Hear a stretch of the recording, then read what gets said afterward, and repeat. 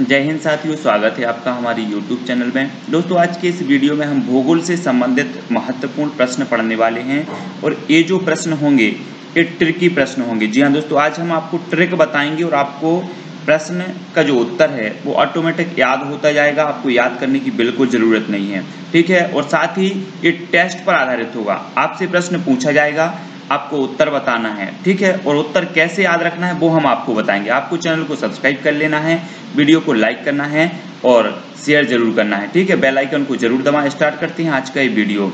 भारत में सर्वाधिक वर्षा कहाँ होती है? जी हाँ दोस्तों, जल्दी से आपको इसका उत्तर बताना है। तो इसका सही जो उत्तर हो जाएगा, वो क्या होगा? मौसिन राम में। जी हाँ दोस्तों, सर्वाधिक वर्षा कहाँ होती है? मौसिन राम में होती है। अब इसको कैसे याद करना है?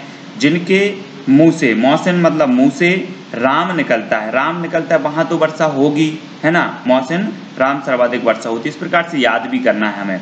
वायुमंडल की किस परत में मौसम संबंधी घटनाएँ होती हैं? जी सम, जी हाँ दोस्तों। मौसम संबंधी घटनाएँ होती हैं क्षोभ मंडल में। क्षोभ मंडल में अब इसको कैसे याद रखें? तो मौसम संबंधी घटनाएँ जैसे गाज गिर जा गिर जाती है जैसे तूफ़ान आ जाती है मौसम संबंधी घटनाएँ होती रहती हैं। तो किस परत में होती हैं क्षोभ मंडल में। क्षोभ मंडल सबसे निचली परत मानी जाती है और जब मौसम संबंधी कोई घटना हो जाती है, कोई व्यक्ति अगर मतलब उसमें जान माल की हानि हो जाती है तो क्या होता है? क्षोभ होता है हमें। क्षोभ होता, बड़ा क्षोभ हो रहा है। ऐसा हो गया। तो मौसम संबंधी घटनाएँ कहाँ घटित होंगी? क्षोभ मंडल में, क्योंकि मौसम संबंधी घटना से जब नुकसान हो जाता है तो क्षोभ होता है तो क्षोभ मंडल में। ऐसे याद भी करते जाएँ।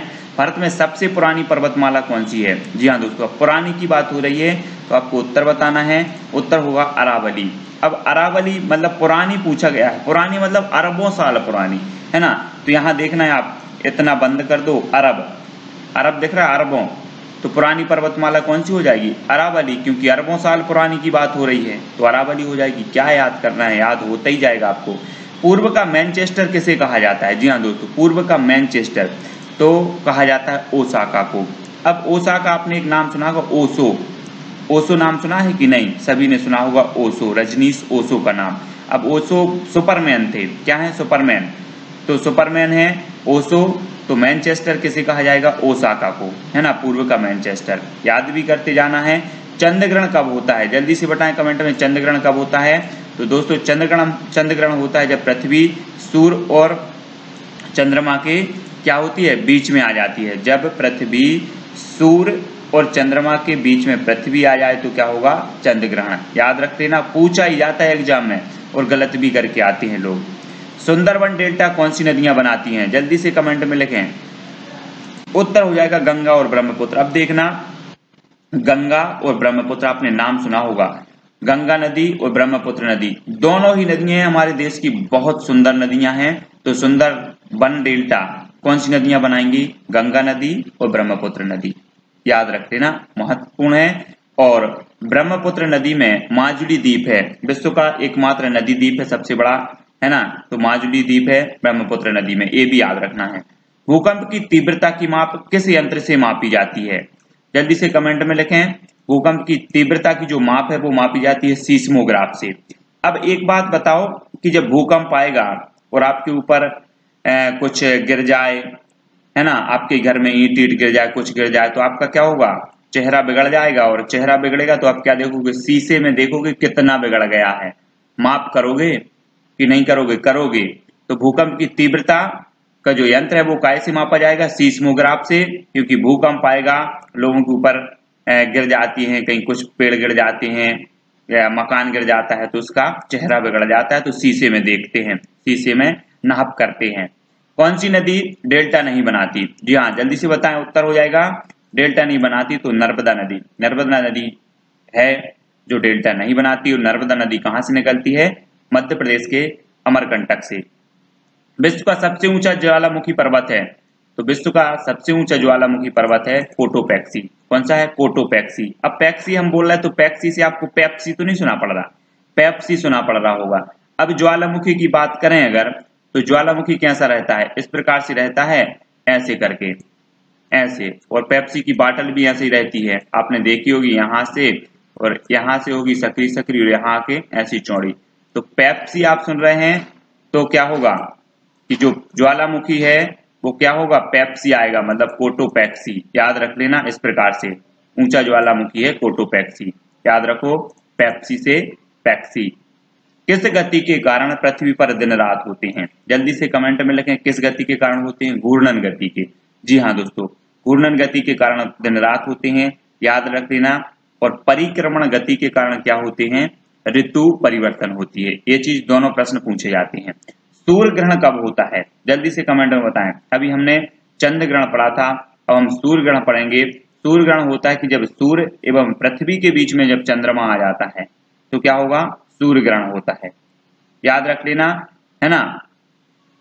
बहुत ही महत्वपूर्ण है। ओजोन परत किस वायुमंडल परत में पाई जाती है? कुछ वायुमंडलीय परत में पाई जाती है। तो वो पाई जाती है समताप मंडल में। अब एक बात बताना कि जो ओजोन परत है, आपने पढ़ा होगा कि जो ओजोन परत है, सूर्य से आने वाले पराबैग्नि या हानिकारक जो किरणें होती है, उनको रोक लेती है। मतलब जो ताप है, उसको क्या कर देती है? समान करती है। तो ओजोन परत कहाँ पाई जाएगी? समताप मंडल में, क्योंकि ये क्या करती है? ताप को सम कर देती है। है ना? सम कर देती है पराबैग्नि किरणों को रोक लेती है तो समताप मंडल में पाई जाएगी। इस प्रकार से याद करना है आपको थोड़ा सा रिलेट करके, और एक क्वेश्चन मोस्ट इंपॉर्टेंट है, पूछा ही जाता है। ठीक है? नेक्स्ट देखें, दक्षिण ध्रुव पर पहुँचने वाला प्रथम व्यक्ति कौन था? दक्षिण ध्रुव पर। जल्दी से बताएँ।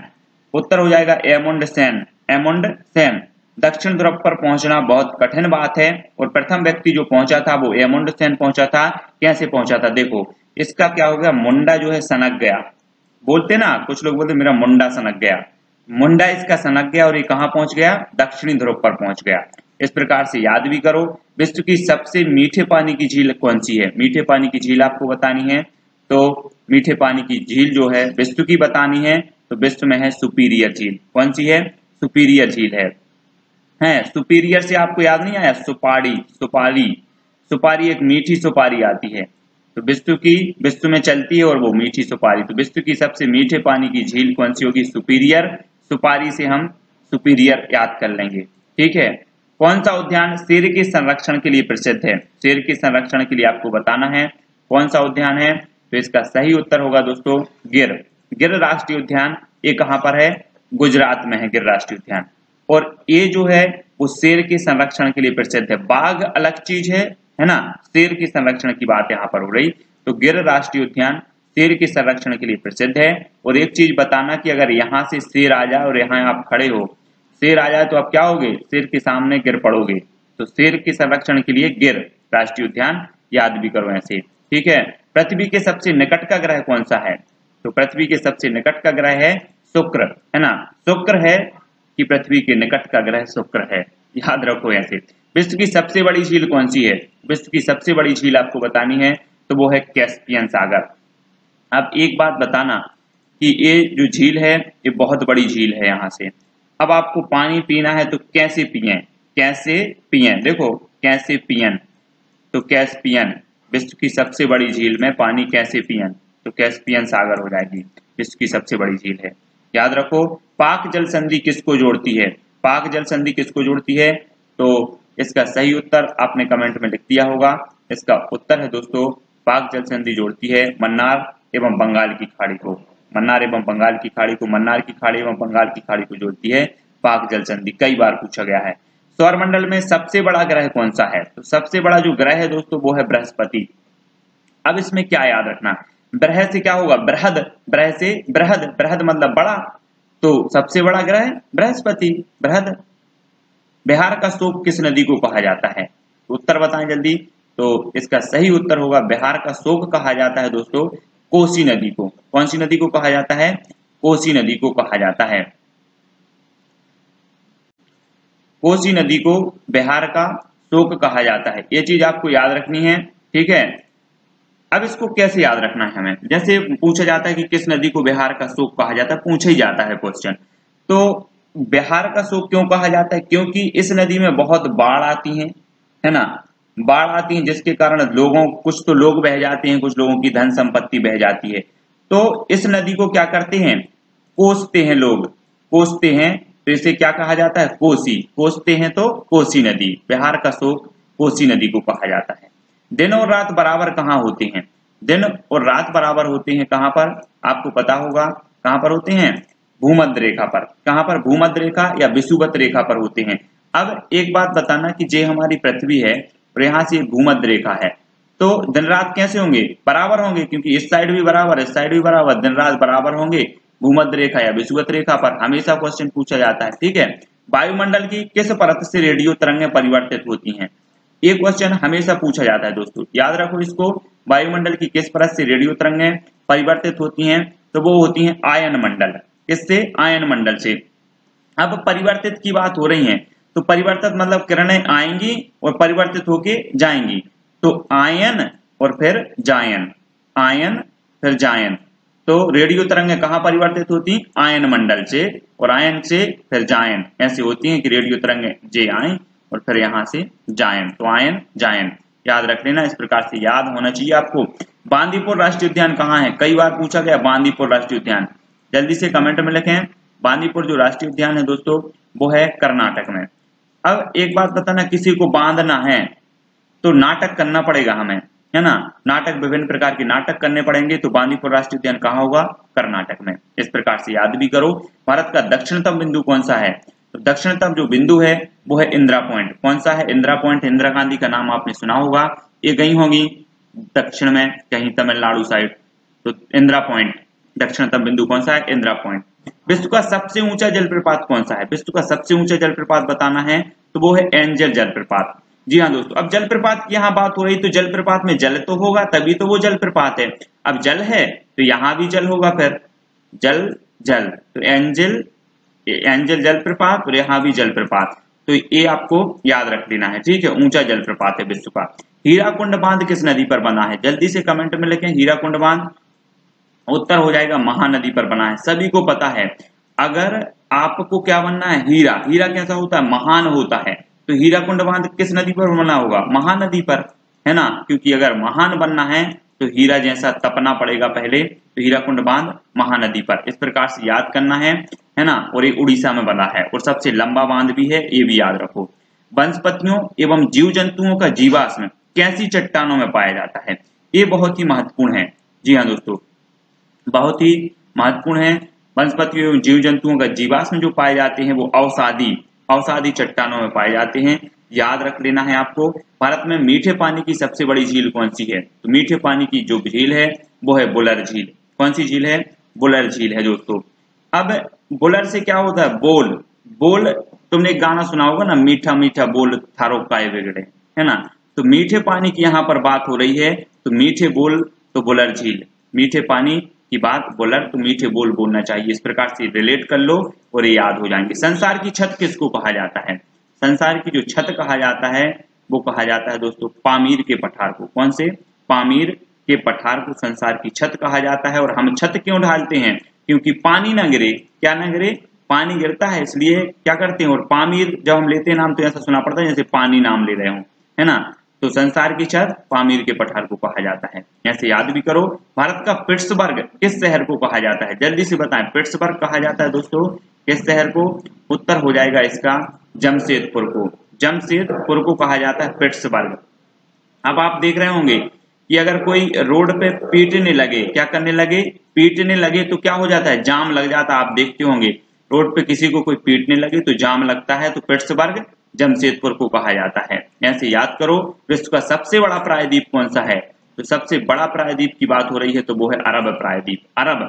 अब हम लाख की बात नहीं, अरबों की बात करेंगे तो तभी तो वो बड़ा कहाएगा है ना? तो अरब प्रायद्वीप जो है, विश्व का सबसे बड़ा प्रायद्वीप है।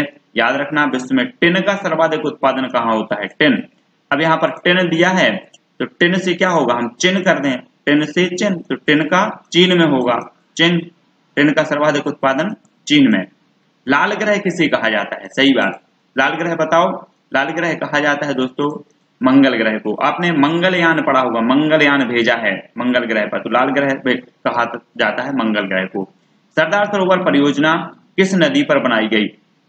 तो दोस्तों, आप सरदार सरोवर के बारे में तो जानते होंगे। सरदार सरोवर जी, सरदार पटेल साहब से परिचित होंगे।